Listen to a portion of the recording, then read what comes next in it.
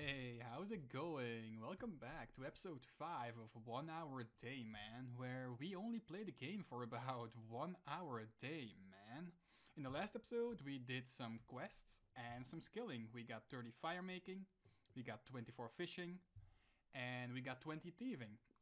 Now, in this episode, I was going to do Plague City, but then I remembered I didn't have any of the stuff for Plague City.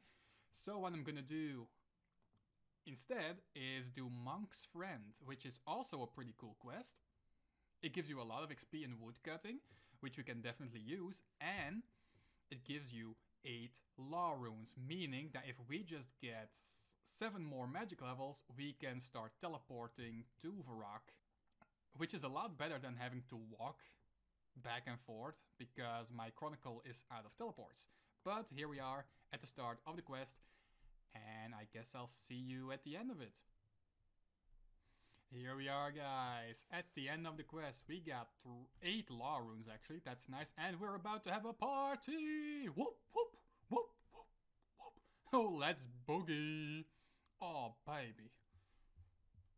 This is like the most fun ending to a quest in the game. Look at him.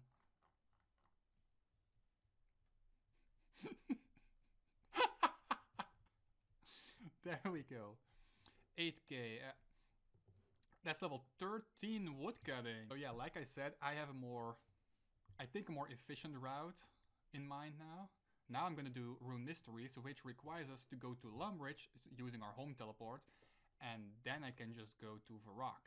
Next step in this quest requires us to go to the Wizard's Tower, which is south of Draynor Village. So, while I'm in Draynor Village, I can now restock on Chronicle charges. See?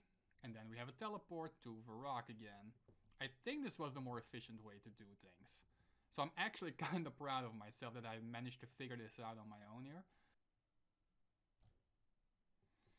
There we go, guys. Rune Mysteries is completed. Let's go. Now, let's start working on the diary since we're here as well, right? Let's start working on it right away. We have to sell to the silk salesman. Sell to the silk salesman. Jesus Christ. But to do that, we have to steal from him and then wait for one hour. So yeah, that's not gonna happen today. Absolutely, that's an easy diary task for the Ardougne easy ones. As you can see, now we have 2 out of 42. And we also obviously thieved the silk, which we can sell back to him in about 60 minutes, I think. Maybe it's sooner, but I'm not sure about that.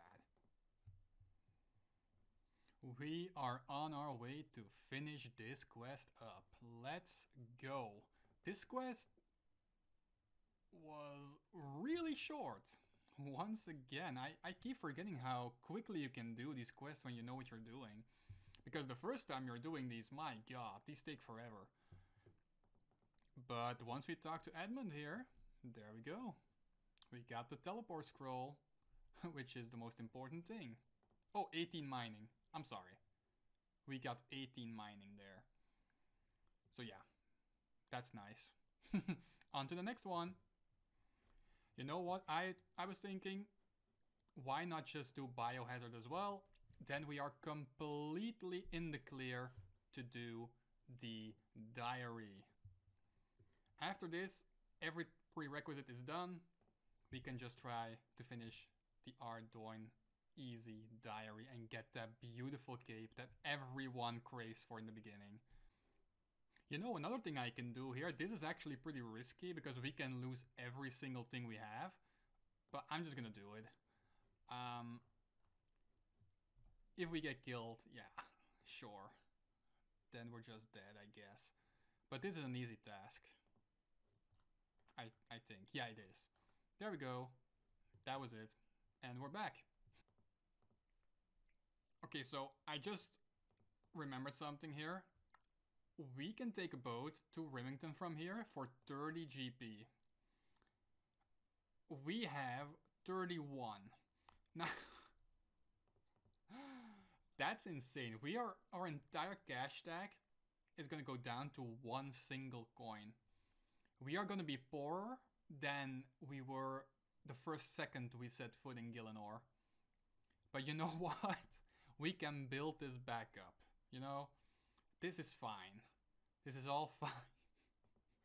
oh, Jesus Christmas. I've d- I don't think I've ever been this poor in RuneScape before. But like I said, it's for a good cause. And we can do it. Let's go. We can do this. There we go. We told Elena it was a hoax, and we told the king it was a hoax, and we get some thieving XP, and we get access to the combat training camp, which is where we need to go to complete one of the diary tasks. So, give a round of applause to yourself because we just completed the last prerequisite for this Ardougne diary. No. I'm not doing the next. Oh, level 22, by the way. I'm not doing the next steps in the Elvish quest line just yet. Trust me, they all suck.